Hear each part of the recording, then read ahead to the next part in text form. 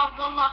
أبو شادي أدامك الله. أنا أشرف ابن أخوكم محمود بالصف الخامس في مدرسة الفريم أهديكم أجمل السلام, والتحية وأطلب لكم من الله الصحة والعافية دائما.